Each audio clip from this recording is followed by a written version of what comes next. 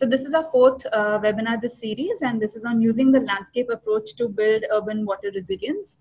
On behalf of the unit, I'm pleased to introduce today's speaker, Mr. Sourav Kumar Biswas, who is a landscape planner and a spatial analyst at Sasaki Associates in Boston. Sourav has design and planning experience in multidisciplinary firms, including AECOM in San Francisco, SLA in Copenhagen, and Corgan in uh, Dallas and has prof- professional experience with community engagement collaborations with Interboro partners in Cambridge and BMW Guggenheim Lab in Mumbai. Research experience in the Urban Theory Lab at Harvard University and Observer Research Foundation, Mumbai. He also has teaching experience in KRV Institute of Architecture and Environment Studies, Bombay. He also has some publications in his name, and the links to access them are available in your chat box. Uh, Sourav uses systems thinking and geospatial analysis to understand socio-ecological linkages uh, that impact urban resilience and uh, environmental sustainability. And we're excited to have him uh, deliver the webinar today. Yeah, thank you very much, Vaishnavi. Good,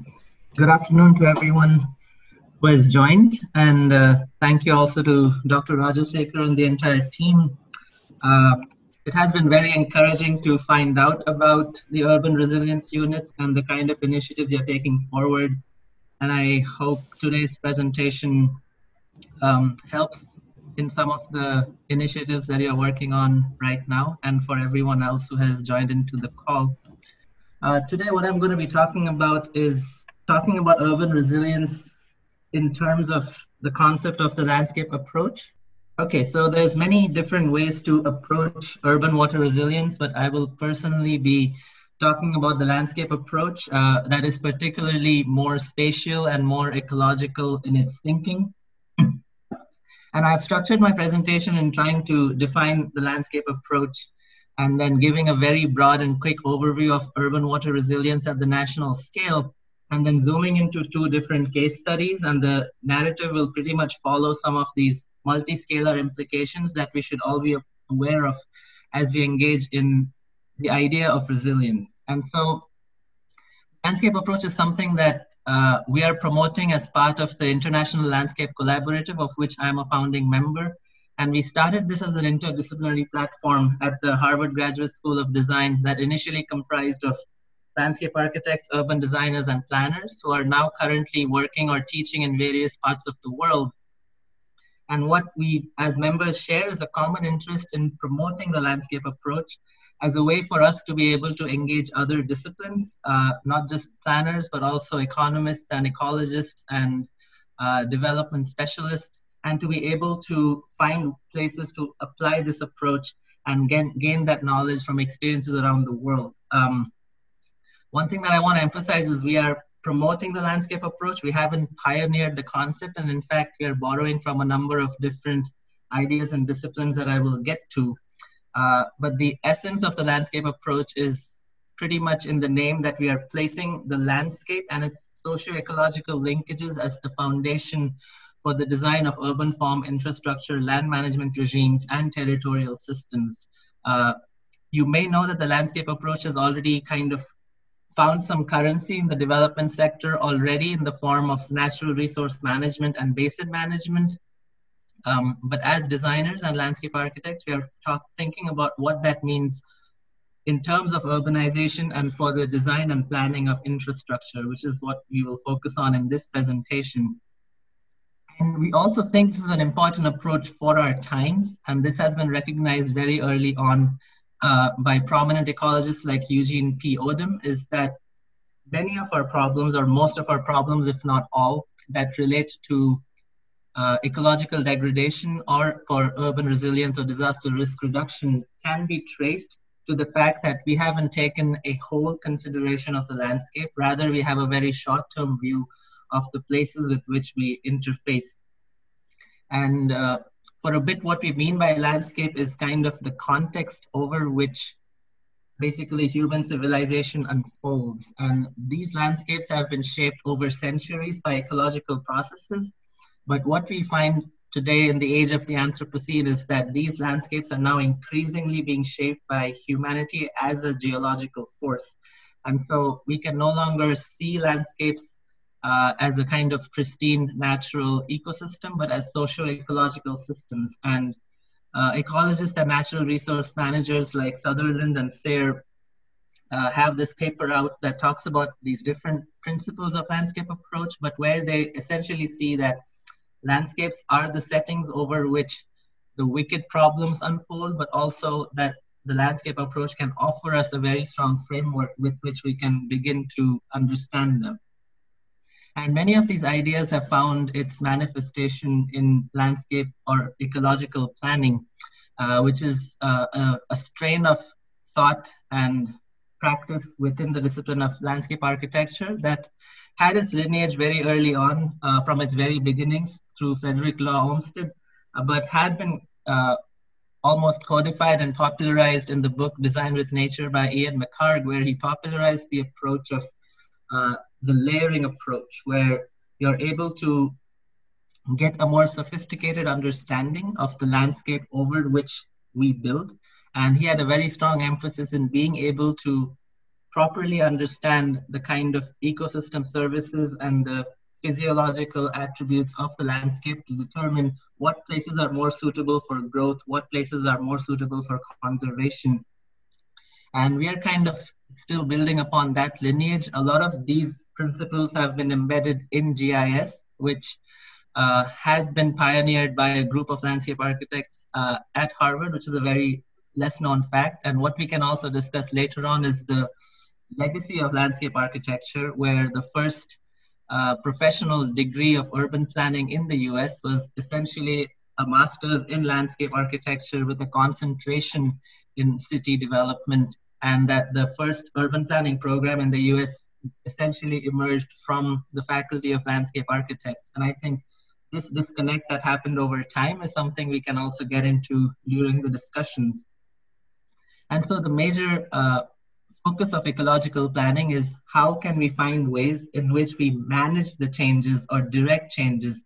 fully acknowledging that human actions make the most impact on the landscapes? Are there ways in which we can attune uh, these human actions, whether they are settlement patterns or infrastructural in investments that are more in tune with natural processes? And the major takeaway from the Design with Nature as a book uh, was less about design or nature, but about the proposition with, which means how do we actually think about human or constructed or design systems working in cooperation with ecological and natural systems. Um, but the whole point of uh, the Anthropocene and the era in which we live in is that it's very hard to essentially talk about nature as its own uh, pristine and untouched entity. Uh, we can argue that almost the entire planet today has some kind of human impact or has been completely transformed by human impact. And it is for this reason that the landscape approach uh, derives a lot of its principles, or at least we do as practitioners, from two important disciplinary innovations, one of which is landscape ecology, uh, which essentially takes ecological principles uh, and tries to understand spatial patterns and position ecological processes as uh, how these patterns inter interact with each other on multiple scales. And so this discipline is especially interested in studying the structure and the function and the kind of changes that take place uh, not just in natural landscapes, but also semi-natural, agricultural, and urban landscapes. And uh, for us as planners, this is a particularly useful discipline because it allows us to have very basic uh, principles of ecology that are very scientifically rigorous, but it allows us to basically take those principles to many different contexts and evaluate through a very rapid assessment of the kind of structures that we see considering that most of the world today is a mosaic of many different land uses and not a single uh, natural entity unfolding over territories, is that uh, these kind of principles really allow us to engage a context and understand the ecological processes without uh, waiting for too much uh, original data. Um, and the second uh, school of thought emerges from socio-ecological systems, uh, which is another multidisciplinary initiative from ecologists and economists and geographers who understand the landscape, like many other systems around the world, are socio-ecological systems. They're complex, they're adaptive, and they they make us think that humans are not separate from the natural uh, flows that occur around us, but that humans and non-human en- entities are both interdependent and interact with each other, and we both have the capacity to completely transform uh, these environments, but also adapt to these changes. So the idea of resilience owes itself a lot from this type of thinking in socio-ecological systems. And um, in our book from the South, we have basically applied the landscape approach or shown a body of work that uses the landscape approach to either talk about metropolitan park systems um, and how we plan for territorial systems, especially arid landscapes, and how we can use the landscape approach to uh, read how regulations unfold over uh, many different systems like irrigation or urbanization. But in this particular presentation, I'll focus on what the landscape approach means in terms of uh, basins. And I think basins are one of the most effective landscape planning units that John Wesley Powell very beautifully described as a bounded hydrologic system that is defined by the way the water moves through the landscape. And John Wesley Powell was an, uh, a geologist who was a kind of pioneer in ecological thinking, where he proposed that the way the Western US should be administratively divided is through the watershed boundaries. And unfortunately, that's not uh, what happened. Uh, but these ideas have still continued and that when we do take a project, whether it's a stream restoration or a river restoration or a canal, or even considering siting very big developments, we cannot consider these individual uh, entities independently of how it relates to the larger watershed that it is a part of. And uh, this has led to ideas like strategic basin planning, which is now uh, again gaining currency in the development sector, especially as they realize that uh, many of the ways in which we manage the resources have to be now aligned with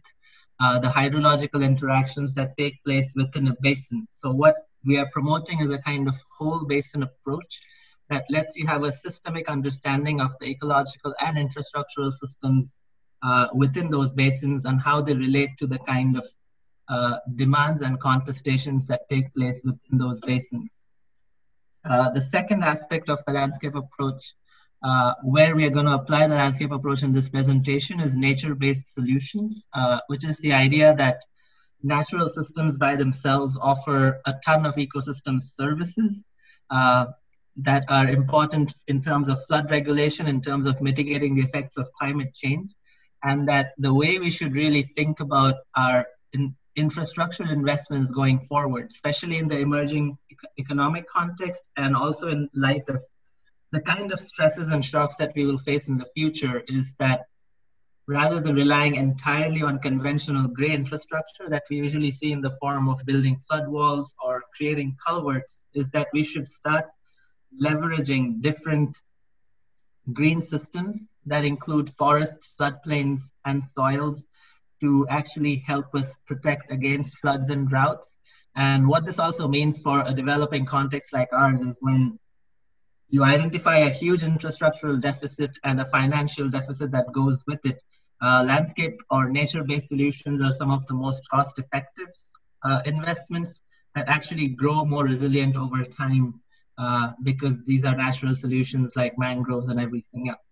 Um, so getting straight into what the landscape approach means for India, we're going to start at the very national scale and begin zooming in. Um, one of the things to understand about just India as as a nation is and, and as a landscape is that it's a very dynamic working landscape that is densely populated and highly influenced and dependent on the monsoon. So what you see here is uh, an image of the greenery that you see in India in May before the monsoons and what happens when the monsoon washes over the landscape and completely gives life to the entire territory turning everything apart from the Thar Desert into uh, different shades of green. And what we also see at a territorial scale is the kind of shifts that take place when different agricultural regimes uh, completely transform the landscape. So you can visibly register the harvest of winter rice across the country, and you can visibly register the harvest season when the wheat crops are in full bloom and you really see the Indo-Gangetic plain emerge as this highly concentrated working landscape. And what we need to begin to do is find new ways or new vocabularies of visualizing these systems at the national scale. Uh, so this is a data set called Anthropogenic Biomes developed by the ecologist Erle Ellis. And he has the idea that we can no longer think of classifying our, our territories in terms of land cover or even natural biomes, and that we should really think of them as what are the effects of human impact or human regimens of land management on top of natural biomes. And this is what he means by anthropogenic biomes. And these have categories ranging from the urban to dense settlements, which characterizes a lot of the Gangetic Plain, uh, to rice villages, and different mosaics of villages that either depend on rain or irrigation. And what you see in India's case is that we are a very densely populated landscape with multiple working regimes, and very little of the landscape can be considered uh, wild and that even some of the forested areas of India are highly inhabited. So anytime we think about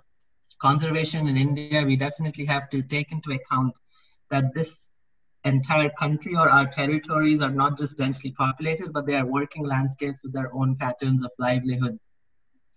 And these livelihoods are directly, largely dependent on uh, the water resources that can be understood through their bounded basins. So we see the Ganga basin, we see uh, the Kaveri and all these other big basins within uh, our boundaries. Uh, but what we also have to consider is that we have highly altered the kind of hydrological flows that usually define natural uh, watersheds. Uh, the gray that you see on the map is showing the density of irrigation projects by sub-districts. And you see definitely in the Indo-Gangetic Plain, but also through Rajasthan that through the creation of multiple dams and canals, uh, we have essentially turned many of our watersheds into machines, uh, similar to how uh, many engineers had called the Ganga the Ganges water machine. And it is within this landscape that we have to think about water resource management. And uh, one interesting thing to uh, highlight here is that even though because of canals and because of dams, uh, we are now dependent on water resources that are outside our own watershed boundaries. So Delhi, for instance, depends on water resources in uh, Tehri dams that are thousands of kilometers away, and many other cities in India do the same as well. Uh, the important thing to acknowledge is that in spite of these uh, disconnections and uh, mechanizations, we are still dependent and vulnerable to the landscape dynamics that happen within different watersheds. So even if our dam does not belong to our own watersheds anymore, they are still uh, susceptible to the kind of uh, sediment dynamics and water hydrological dynamics specific to their place. And this acknowledgement or the lack of acknowledgement that we have to embed all these systems, whether it's natural or infrastructural, back to their watersheds is something that's highly missing in our discussions on the river linking project or any other kind of misguided infrastructural investments that we might think of going forward. What that also means is that uh, it's a very highly complex ecosystem within which we have to think about water resources. And most of India today has faces extremely high water stresses. So this is the data set from the World Resource Institute's uh, baseline water stress, uh, where the dark reds are showing extremely high water stress, which means that uh, we are taking out more than 80% of the resources that are going in in terms of water. And uh, that's very visible in the form of uh, Delhi and the entire DMIC region today. But also, as we have seen in the case of Chennai, that entire region is facing extremely high baseline water stress. And unless we do something about the way we withdraw or recharge these aquifers, we're in a, a whole lot of trouble. Um, and this map specifically comes out from my research with Rahul Mehrotra that we're going to release in a book called Becoming Urban. And uh, what this map is showing is uh, priority urbanization areas. And here we are not just highlighting places that we already consider urban uh, or municipalities based on census data sets, but you're actually interested in how places have been changing over time. So whether it's changes in nighttime lights or changes in livelihood profiles to highlight uh, places that are rapidly growing or transforming. So we are not only interested in Delhi as a priority urbanization area, but its larger uh, urban agglomeration and the kind of corridors that start emerging within Punjab, within Kerala, and outside of Chennai. And the reason we do this is to understand uh, what are the rapidly transforming areas of the country. And when we overlay that with some of the water stressed uh, data sets, what we find is some of the most rapidly urbanizing areas of India that includes uh, Delhi and its larger environments. Hyderabad, Bangalore, and Chennai are some of the most water stressed uh, urbanizing areas, and that water might as well become a limiting factor for their growth. We're already kind of seeing that in Bangalore, where there's consideration of halting new apartment constructions because of the lack of water. Um, and Kolkata and Chennai are the two of the cities that we will be zooming into next. Um, uh, starting with Kolkata, that's a part of the Gangetic Basin. And the Ganga Basin is uh, one of the most populous river basins and the most densely populated river basins, as you can see in here, where you are essentially part of a highly populated, consistently urban and rural territory. Uh, but what is concerning about the Ganga Basin is the fact that a lot of agriculture today, in spite of miles of canals and rivers, are dependent on the aquifer. And the aquifer itself has, is depleting at a very high rate, especially in the northern parts of the Gangetic Plain. Um, and that what we find in the Ganga Basin is not just a scarcity of freshwater resources, but the fact that uh, industrial and municipal pollution is actually jeopardizing uh, whatever available freshwater resources we might have. So what this is visualizing here is the uh, sewage that's generated by different municipalities within the Gangetic Basin. Uh, Delhi, as you can see, is completely off the charts, followed by Kolkata, which is the second most biggest contributor of sewage and what you also see here is the kind of water quality as the river systems move through Delhi or move through Kanpur or move through Varanasi. Um, and the reason I bring this up is because the next example that we're going to talk about, the East Kolkata wetlands, leverages the landscape as one way to uh, treat uh, sewage. And it's one alternative to think about as we consider that the government has spent crores and decades on Ganga action plans and Yamuna action plans, it's very little to show for it because uh, the entire focus has been on creating uh, sewage treatment plants within individual basins, not considering the fact that most of these cities aren't connected to the sewage system, but also that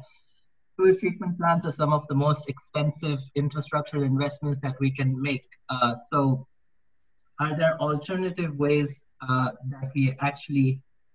can think about uh, sewage or waste recovery systems and whether the landscape comes into play in that as well. Uh, so the East Kolkata wetlands are what I would consider one of the most remarkable examples of socio-ecological systems. Uh, today is ecologically functioning as a wetland, but what the what the East Kolkata wetlands essentially are are thousands of uh, fish ponds, and these are fish ponds that have been incrementally built over decades, if not centuries, by communities of fishermen. And so what you see here are different types of harvesting ponds or rearing ponds that have different functions related to uh, fish growing. And they actually use sewage that comes through the canal from Kolkata as a way to nourish some of their hatchlings. Uh, and so what they're doing is using the ecosystem to not just filter the sewage, but creating a whole livelihood mechanism around uh, growing fish using that as a resource. And so for context, we will be talking about the East Kolkata wetlands with different scales of basins. So it's definitely part of the Ganga basins, but within that, the East Kolkata wetland is basically a filter between the Kolkata metropolitan region and the Sundarbans, which is one of the most uh, important mangrove ecosystems in the world. And because Kolkata moves most of its sewage eastwards, if it wasn't for the East Kolkata wetlands, uh, the city would have had a much more outsized impact on the health of the Sundarbans, which is one of the most important barriers uh, against sea level rise and other effects that we might see on the city through climate change. And what the wetlands do is they actually process more than 750 million liters of sewage per day,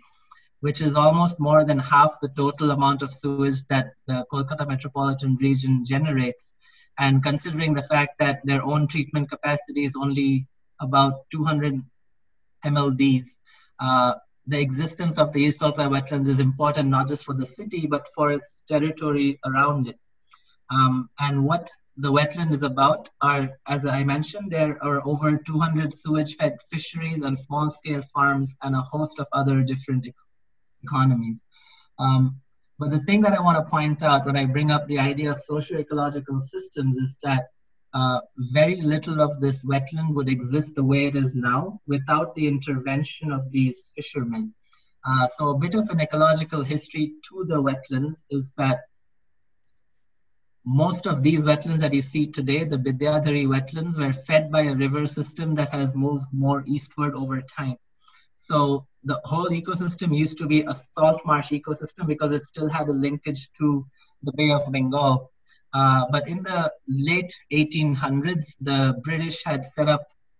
the East Kolkata wetlands area as a dumping ground for its solid waste and made sure that it could move all the sewage towards the east. So Kolkata, Dr. Dhrubajyoti Ghosh, who actually uh, recognized the East Kolkata wetlands for what it is, considered Kolkata uh, an ecologically subsidized city because it had one river from which it could extract drinking water and be able to move its sewage into a different river system. So it was basically surrounded by two river systems where it drew water from here and then moved its sewage through canals into another river system. Uh, so when the sewage canal started going through the wetlands, it used to be a salt marsh ecosystem that already had its community of fishermen. And as the river moved away and it lost the connection to the sea, as the freshwater sewage started coming in, the fishermen essentially adapted to this changed landscape. And so what they started doing was creating uh, different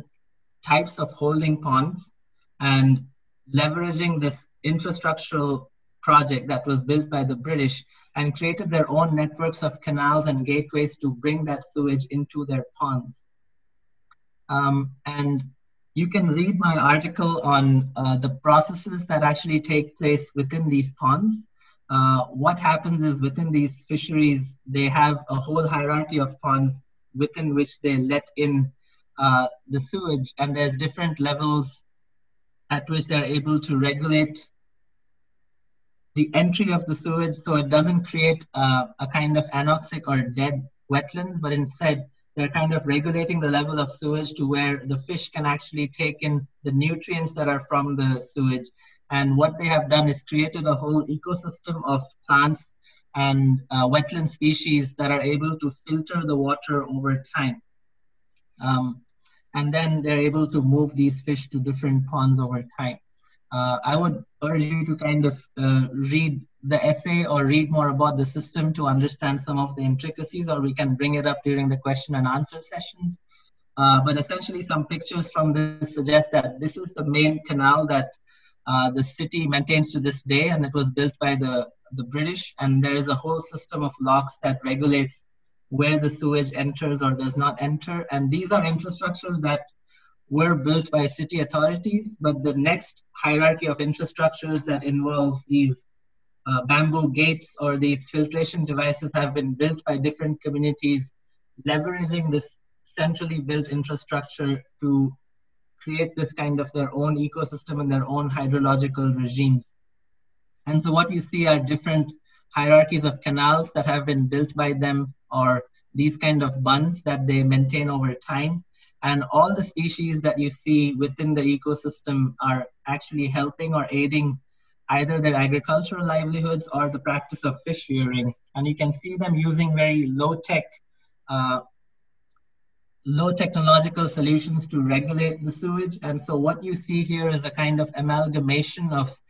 high technology built by the city uh, uh, combined with low tech technologies built by the fishermen, but also decades of traditional practices where they are very attuned with the kind of flows that happen. So they're able to understand how much sewage to put into the wetland before it becomes toxic to the fish or how much to regulate before it becomes toxic to the ecosystem. And we need to then understand the East Kolkata wetlands not just as a wetland that's an environmental system or as an infrastructural system that's giving Kolkata its ecosystem services, but as a kind of social network that's uh, sustaining the landscape, and that without their interventions, the fishermen, the boat repairmen, uh, this would not operate the way it is because Kolkata today doesn't really consider the effects of sewage on the landscape, but you have this whole community of fishermen and its producer associations that have a livelihood interest in being able to regulate the sewage to make the wetland productive.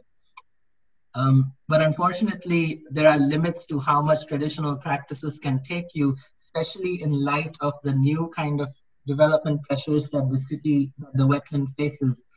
Over time, as the city of Kolkata has rapidly grown, we are starting to see a lot of the new development happening on the peripheries that are beginning to surround the East Kolkata wetlands. And today, the wetlands themselves are recognized in the form of a boundary over which uh, the EKWMA or the Management Authority has jurisdiction, but unfortunately, it's not a jurisdiction that has many executive or punitive powers. And so, while it's acknowledged as a protected area, there's a lot of transformations that are happening right along the edges of the wetlands, but also internally within the wetlands as villagers start converting their agricultural lands or even their wetland lands into new forms of development. And the result of this is not just direct encroachment of the wetlands, but also what are the effects of the fact that a new highway has been constructed as a new corridor of development and what the pollutant runoff from those highways mean? And what are the impacts of new developments or new construction that generates runoff that go into the landscape? Or what are the impacts of groundwater extraction that are coming up in these new towns and what kind of impact would that have on the wetland itself? And so what we are proposing here is that when you use the landscape approach to understand how to manage the future of this wetland you cannot be thinking merely about the boundary that has been drawn around the villages that consist the wetland but you have to understand the kind of subbasin that contributes the hydrology towards the wetland because in the end you have to understand the wetland as a hydrological system at first but also as a system that is highly interlinked to the city because of the infrastructural investments that have been made. And so what we believe is that with the landscape approach we should be able to find solutions that that allow us to think of new land uses so we can resolve competing demands on the ish, on the resource of land and water and that through landscape planning we should be able to integrate many ecological principles into spatial planning tools so we can accommodate this demand. Considering especially that the development trajectories of the city today are actually jeopardizing the ecological functions and the livelihoods today. And through landscape planning, we can actually come up with a more spatially explicit uh, set of rules that consider those impacts on the ecosystem, but also that we can identify what stakeholders can be responsible for mitigating or avoiding ecological impact. One of the first steps at, at acknowledging the wetland as a hydrological system is that uh, to understand what subbasin impacts uh, the wetland. So this has been a very preliminary analysis of surface water flows that go into the wetland. Uh, but what the wetland needs today is a kind of more deeper analysis of the different kind of point sources and diffuse sources of water that ends up in the in the wetlands today. And so when you have an idea of that, you're also cognizant of the fact that whatever development happens here has an indirect or direct impact on the wetland itself. And I propose this kind of subbasin boundary within which to kind of start that study so we can have an, an inventory of the different surface and groundwater influxes that currently feed the land wetlands today. But we also have to understand that some of the biggest conveyors of water within the wetlands today are our constructed eco, uh, constructed infrastructures, and also what effects do other infrastructures like highways in terms of their pollutant runoff, or even new developments that are a leather factory that are downstream of the wetlands have as pollutants, and what are the impacts of constructed systems on the wetlands. And most importantly, we have to understand what are the different political jurisdictions within which this proposed subbasin has been drawn out. Uh, so this basin itself includes uh, 118 villages. It spans two districts. It contains four municipalities and a new development area. And what we are trying to make the point here is that even when you identify a landscape unit that makes sense to manage or conserve uh, an ecological systems is how do you align multiple jurisdictions to manage that ecosystem. And I think in the Q&A, we can get into what alternate models we can come up with. But here, what I want to highlight is that there are certain villages in, uh, in and around the wetland today that might be more invested in the conservation of the wetland. And that as urbanization comes in, we see a shift in livelihoods that are no longer dependent on the resources of the wetland itself. So we're already seeing the kind of eastern half becoming fully urban in terms of its economic profile. And this is also where we are seeing a lot of land con conversions happening. And so to really understand the political landscape as well as the hydrological and the infrastructural landscape is important to properly conserve these wetlands. Um, and the other thing is bringing in the landscape ecology principles to understand what are the different land uses and what are the patterns of new development that are happening around the wetland. And the fact that today the wetland boundary does not even have an ecological buffer to manage the kind of runoff that feeds the wetlands today, and that most of the boundaries, especially to the west or of the of the wetland that interfaces the city have been completely built up.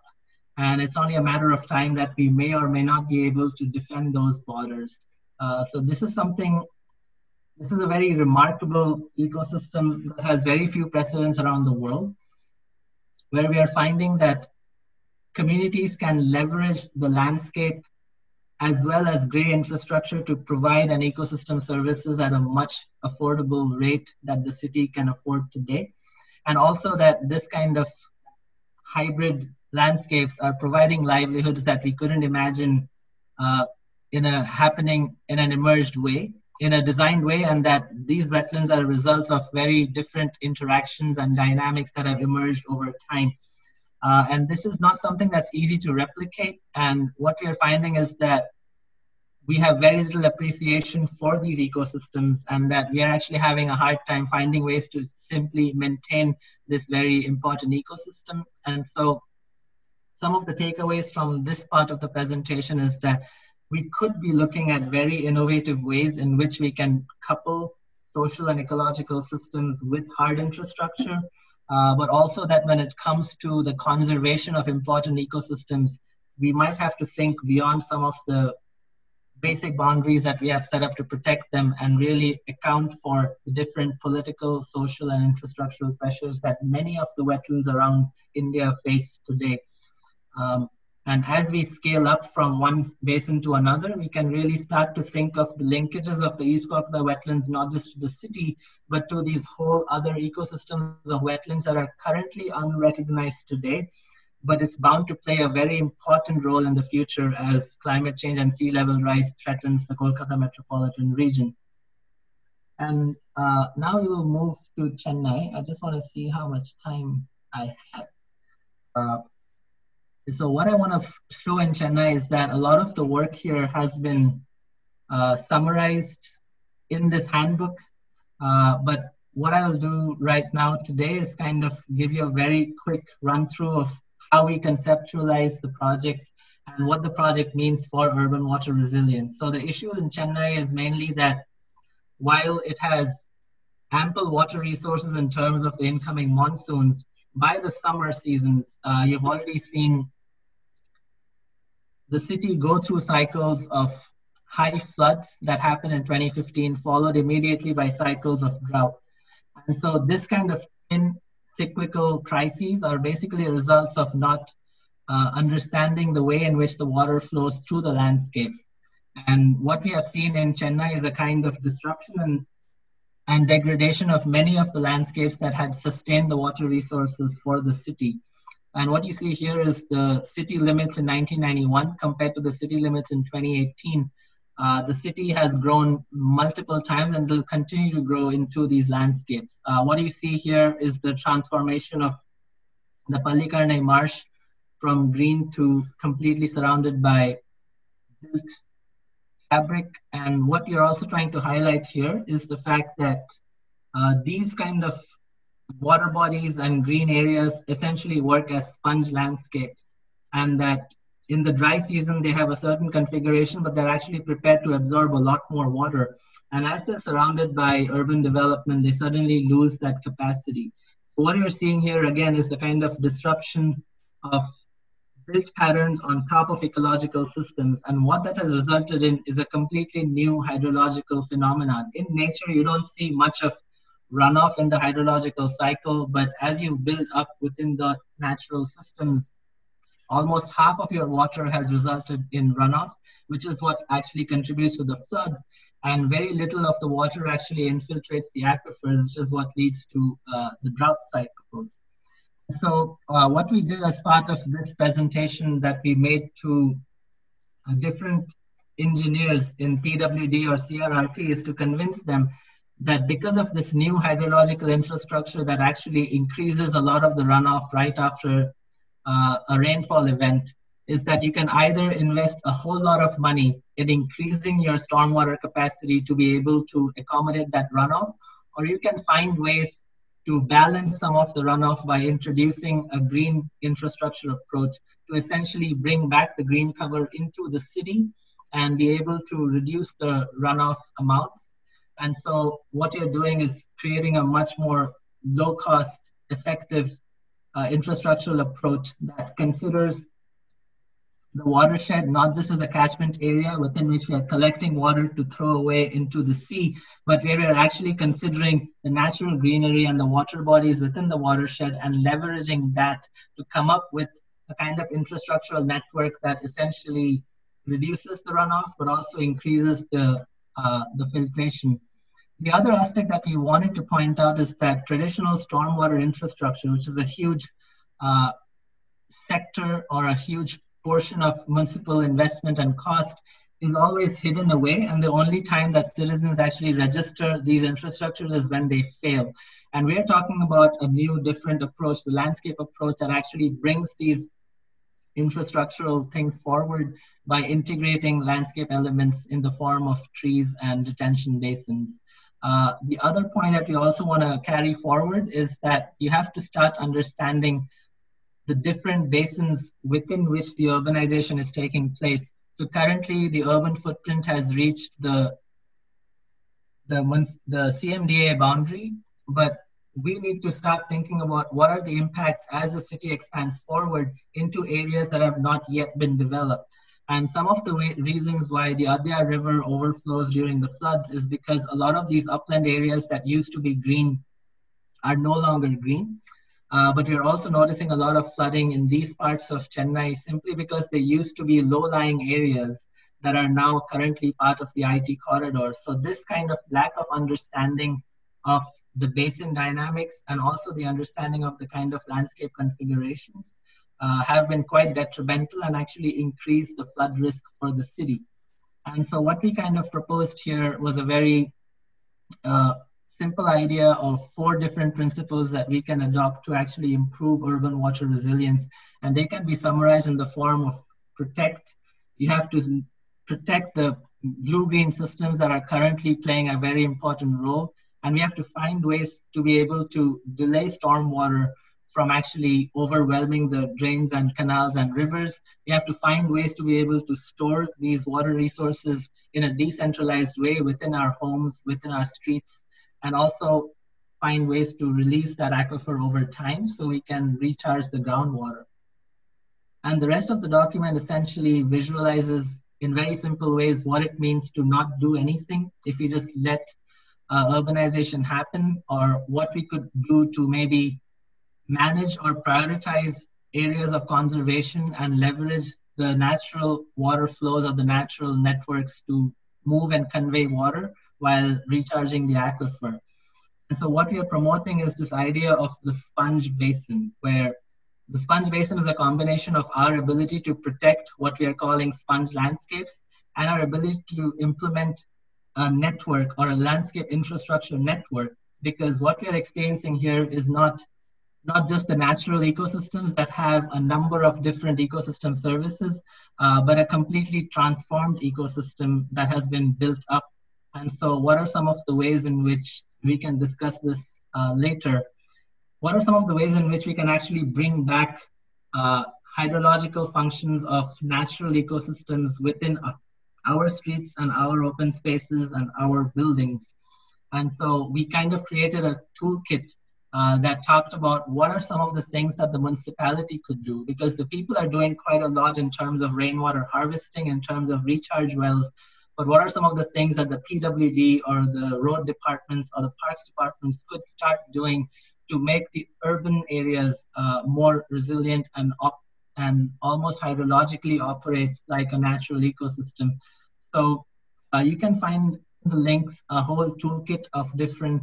uh,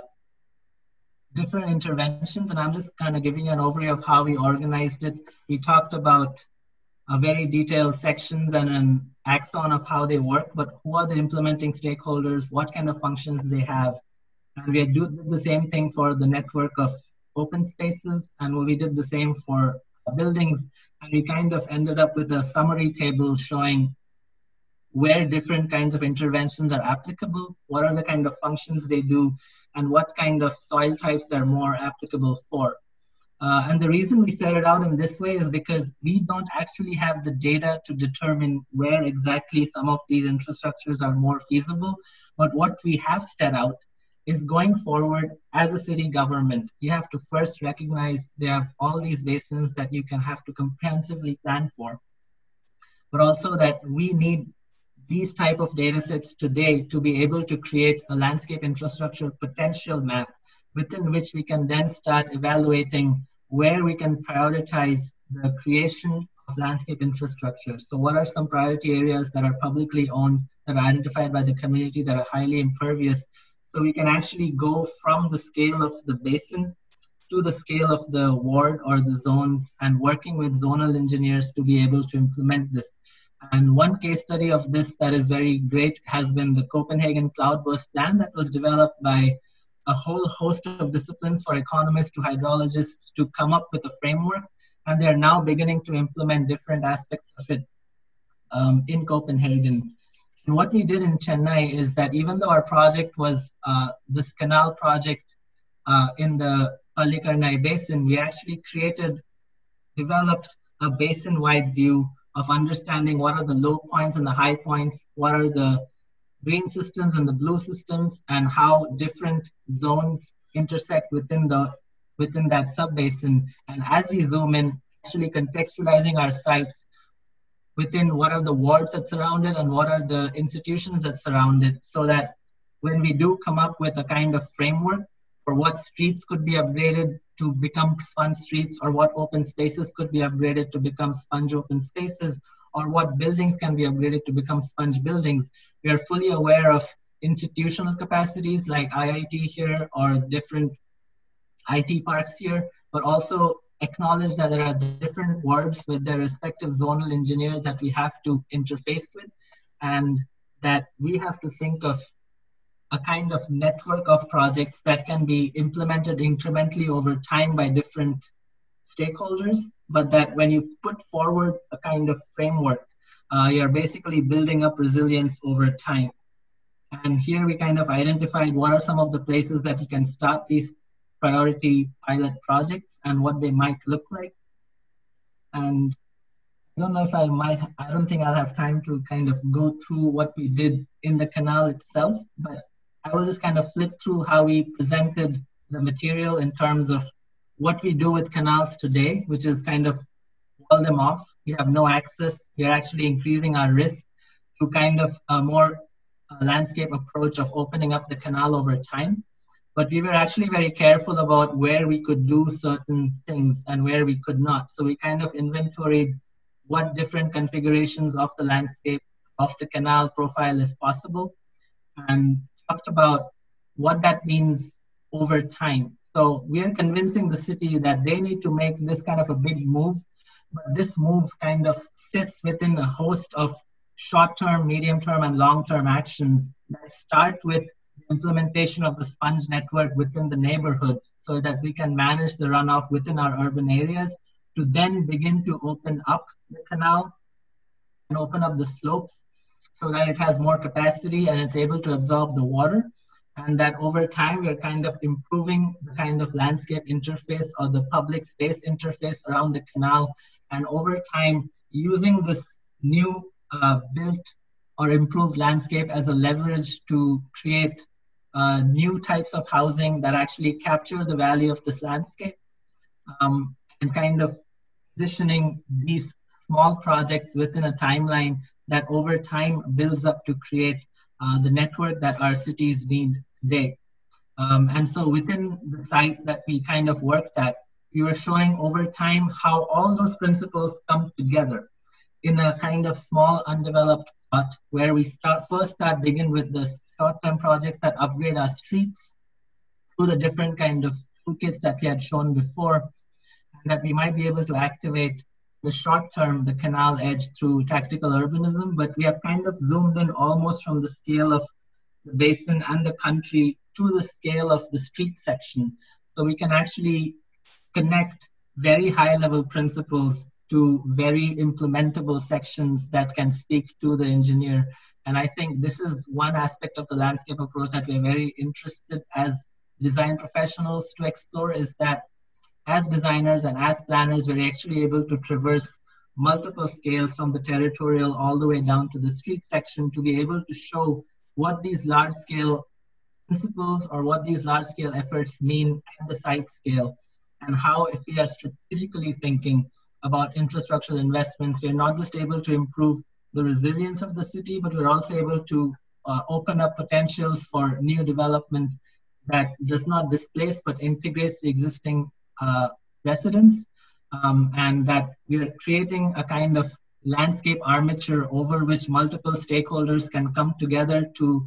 improve the livability of the city. And so what you see here is a kind of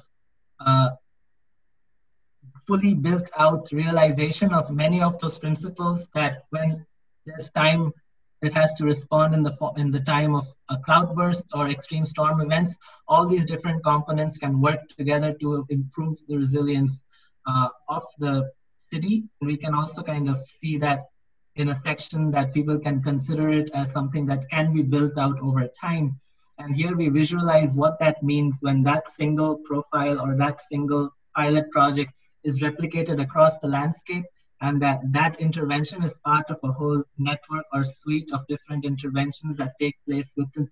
the urban fabric. And we are then able to visualize what it means to open up the canal edge that is more resilient but also more active, uh, what it means to restore the canal uh, ecologically and actually leverage that to spur new development, and what that means in the form of uh, new neighborhoods that are more aligned to the ecological and hydrological flows. And so to conclude, what we have done here is kind of set very large scale principles that are exemplified in the landscape approach and in our sponge basin principles of protect, delay, store, and release that inform every level of planning, starting with the framework plans, uh, where this is very important because even though it's a very it's not a very costly endeavor it's a very cost effective endeavor because when you're able to create a timeline for multiple infrastructures over time and how they interact with each other, you're able to basically multiply your dividends or the resilience dividend, as you call it. And we're particularly excited about what that means in the form of visions, because we see visions as a way to make these principles and framework plans tangible. So even though we know that this might not be built out the way we have visualized here, they are still very compelling visualizations that let people have a more concrete discussion actually trigger different forms of consultations and collaborations that evolve the vision. So we can finally end up implementing some of these strategic plans. and this might end up informing the framework plan as and when it starts implementing projects in a kind of cyclical process. So uh, to end, what I want to emphasize is when we talk about the landscape approach and when we talk about urban water resilience, uh, we need to be cognizant of multiple scales from the territorial and the national all the way down to uh, the city, to the street, to the drainage section. I mean, one of the most important things we want to do through our projects and through the maps that I've made is that by simply showing them what the landscape unit is, is a political act. Uh, because many of these uh, basins or many of these landscape attributes have not been eliminated the way that it has been before. And the challenge there is that, as is the case in many parts of the world, is that administrative units uh, do not overlap with landscape units like watersheds for certain, uh, but also many different ecological systems go beyond administrative boundaries. So the, the current slide that you have here is uh, where we are showing what the different principles are, and they of course come out from the landscape approach, the principles of protect, delay, store, release that have very specific actions, uh, need to be implemented by very different uh, administrative bodies. Um, so in the scale, in let's say in the case of Kolkata, what I did was when I identified a landscape unit, I'm also making the effort to identify the many different administrative bodies that have to come together. So they might come together in the form of the way new development authorities are set up, where suddenly you're kind of pulling together uh, discrete administrative units to have a strategic direction forward, or uh, they become part of uh, the Metropolitan Development Authority's jurisdiction. Uh, what we are seeing in the case of Chennai actually is uh, that many of these landscape attributes go grow beyond today's boundary of the CMDA. Uh, but that is not the case for, let's say, Chennai Metro Water's jurisdiction, who are actually in charge of all the water bodies that supply Chennai today. Um, and so we see in the case of India, because our cities are not as empowered in the form of mayors while the state governments are, is that there actually is the potential when we do highlight these issues for the state government to be quite a lot more proactive in what it means for rapidly urbanizing regions interfacing with peri-urban landscapes that deserve protection. Um, but also we kind of see a new role for uh, districts and district plans to understand what that means. So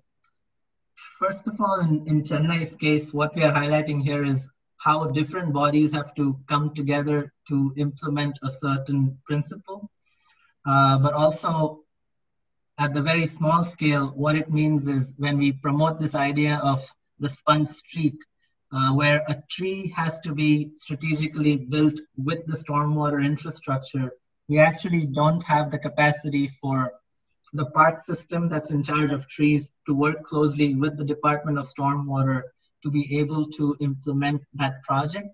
But by visualizing it and showing them that this is what we should aspire to, they can at least know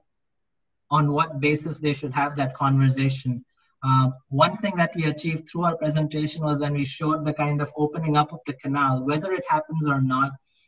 a lot of people acknowledge that it needs to happen. And when PWD and CRRT, which is the Chennai River Restoration Trust, were both in the same room, they started having a productive, sometimes combative discussion on what it means to tear down the canal, who will tear down the wall, who's going to be in charge of the maintenance. Uh, but these are conversations that we can only have when we have visualized the scope of the landscape unit, when we have visualized uh, what it means to implement a certain thing. And most importantly, when we have communicated the fact that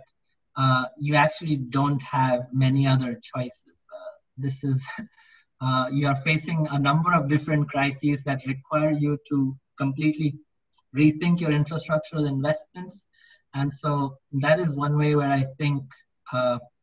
the landscape approach should be strategic in understanding these political uh, nuances but that it's a very necessary thing to be able to visualize and present and be provocative so we can actually get the administrative uh, combinations or coordinations that we need urgently at this time.